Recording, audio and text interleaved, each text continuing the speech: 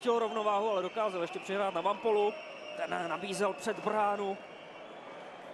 Zřejmě na Davida Šticha. A další tvrdý střed u mantinelu. Tentokrát ze strany Mladé Boleslavy na ledě zůstává v bolestech Tomáš Svoboda,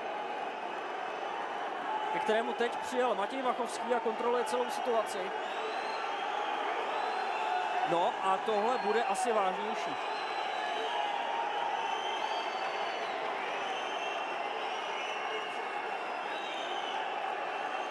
David Štich přehnal své snahy, svou agresivitu a důraznost.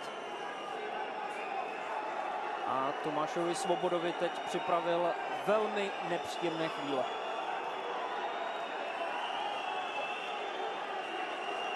Tohle může být jeden z klíčových momentů celého zápasu. Hodně nepříjemné vrazení, nahrazení, které pochopitelně cloumá emocemi na obou stranách.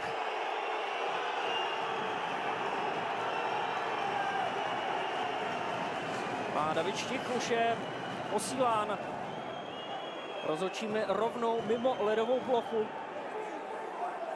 Tím průchodem pod hodně rozúřenými domácími fanoušky. A není se čemu divit.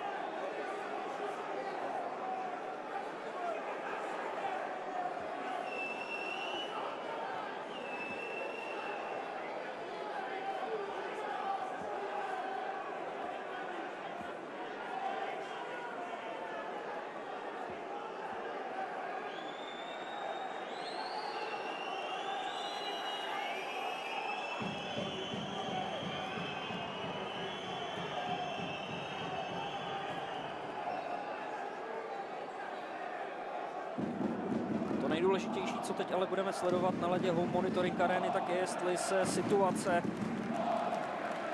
se zraněným Tomášem Svobodou vyřeší co nejrychleji a hlavně bude mít dobrého konce. Oproti tomu i ten tvrdý hit na Jana Hanslíka v první třetině nebyl až tak velký, až tak vážný.